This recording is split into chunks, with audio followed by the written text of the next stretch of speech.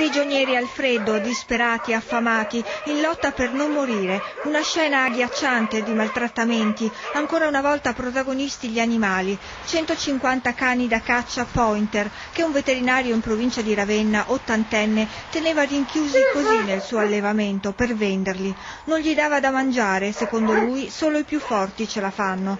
Dopo varie segnalazioni stamane il blitz del NIRDA della forestale che si occupa dei reati contro gli animali. Vicino alla casa del professionista altri cento cani vagavano in mezzo a escrementi e carcasse di animali in un enorme pantano. Con loro chiusi in gabbia anche cinque gatti selvatici appartenenti a specie in via d'estinzione, protetti dalla Convenzione di Washington. Il proprietario è stato denunciato per maltrattamento di animali e per il canile dovrebbe scattare il sequestro.